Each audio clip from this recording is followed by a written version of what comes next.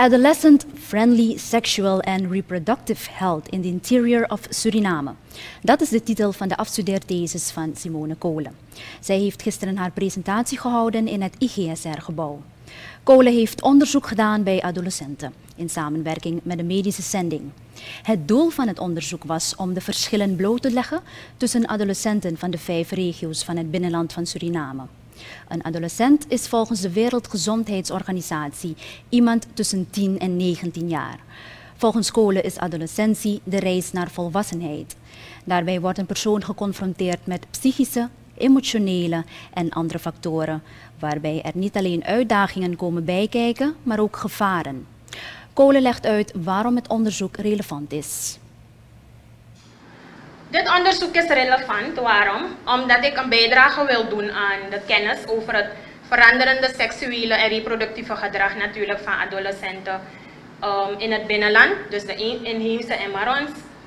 En er is een inventarisatie gedaan van behoeften aan medische diensten die geboden moeten worden in het binnenland van Suriname. En ik heb voorstellen gedaan voor het beleid met betrekking tot dus de SRG, gezondheid voor adolescenten. Um, de analyse van het probleem vloeit voort vanuit zeg maar, het gedrag, dus het SRG-gedrag, dat bekeken is in de context van familie van de adolescenten, dorpsleven, de sociale relaties en de gezondheid.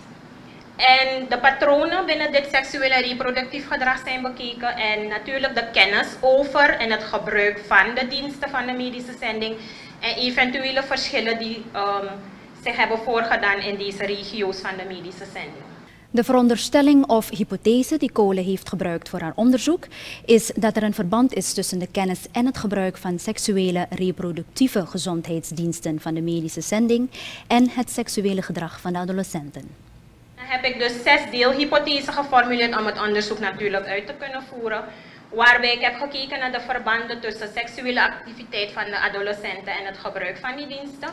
De algemene kennis die ze hebben over SRG en het gebruik van voorbehoedmiddelen, de algemene kennis en over SRG en het gebruik van de diensten, de kennis over voorbehoedmiddelen en het gebruik van deze anticonceptiva, en natuurlijk voor preventie van zwangerschap, zoals en HIV-AIDS, en de algemene kennis en gedragsverandering en behandeling en gebruik van de diensten van de medische zending. Mijn uh, theoretisch kader heb ik opgebouwd aan de hand van verschillende onderdelen. Waarbij ik heb gekeken naar gesloten gemeenschappen, close communities. Waarom? Uh, de dorpen in het binnenland zijn gesloten gemeenschappen vanwege hun, uh, zeg maar hun sterk afgebakende grenzen en de sociale controle die er heerst in dat gebied. Simone Kolen, afgestudeerde aan de masteropleiding Research Methods. Zij presenteerde gisteren haar afstudeerthesis Adolescent Friendly Sexual and Reproductive Health in the Interior of Suriname. Ze kreeg een 8 voor haar thesis.